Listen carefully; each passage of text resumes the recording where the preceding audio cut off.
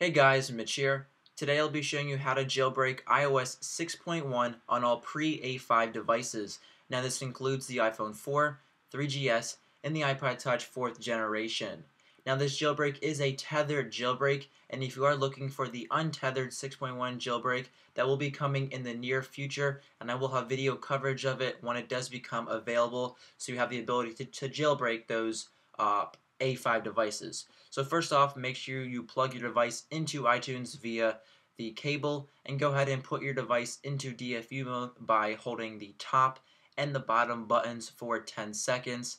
And then once that 10 seconds has gone by, you can let go of the power, keeping the home button held down for an additional 5 to 8 more seconds. Then head over to your computer and open up the latest version of Redsn0w, Redsn0w 0.9.15 Beta 3 go to Extras, and select your IPSW. Now since Redsn0w has not been updated to support 6.1, we will have to browse and select our iOS 6 firmware for our device, not the 6.1 firmware. So once you have that selected, it will be successfully identified, and then you can go ahead and click OK and go back to Redsn0w's homepage and click the jailbreak.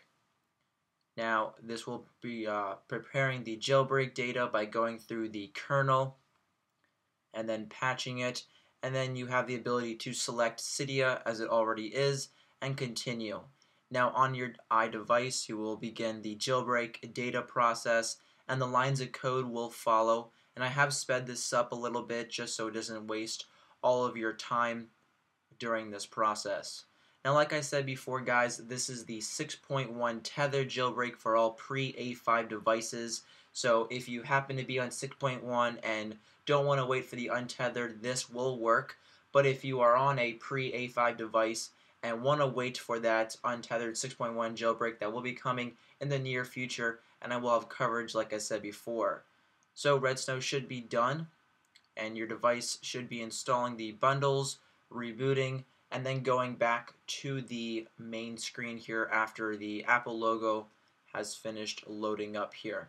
Back on your iPhone you can go ahead and slide to unlock and you will notice that Cydia is not there because we will have to put our iDevice back into Redsn0w and perform a just boot method so go ahead and put your device back into DFU mode by holding the top and the bottom buttons for 10 seconds and then letting go of the power keeping the home button held down for an additional 5 to 8 more seconds and head back over to Redsn0w on your computer.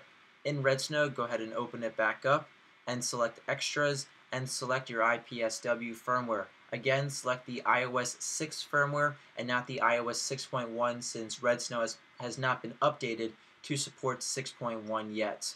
Once you have browsed and selected your iOS 6.0 firmware, you can go ahead and head up to the top and this is what where we will be performing the just boot once it has been su successfully identified.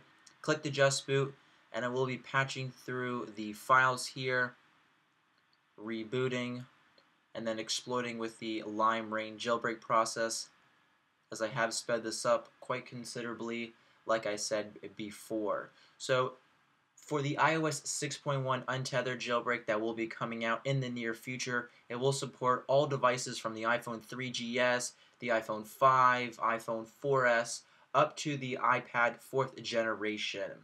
So once Redsn0w has been done here, you can go ahead and slide to unlock your device, and you will notice that Cydia is now on your device, and you have a fully functional Cydia on your pre-A5 device running iOS 6.1.